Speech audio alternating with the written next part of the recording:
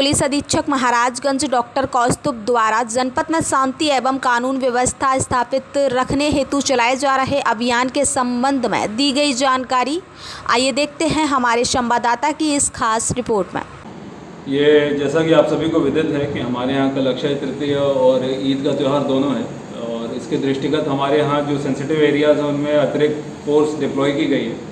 तथा क्योंकि आज लोगों की खरीदारी ईद के संबंध में, फिर अक्षय तृतीया के संबंध में बाकी चीज़ों के मूवमेंट ज़्यादा होने, इसके दृष्टिगत सभी जगह,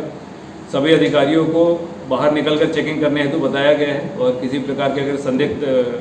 दो पहिया वाहन या नए उम्र के लड़के देखते तो उनके विरुद्ध कार्रवाई करने हेतु बताया गया। साथ में हमारे जितने इंटरनेशनल बॉर्डर्स हैं, जहाँ जहाँ से हमारे आवागमन के प्रमुख रास्ते हैं, उसमें जाने वाले मार्गों पे पिकेट के साथ बैरियर के साथ पिकेट लगाने के आदेश दिए गए तथा हमारे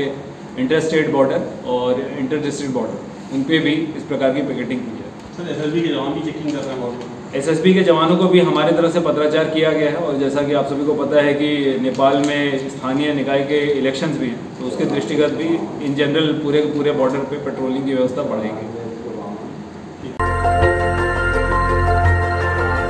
देखते रहिए डीबी भारती समाचार नज़र हर खबर पर।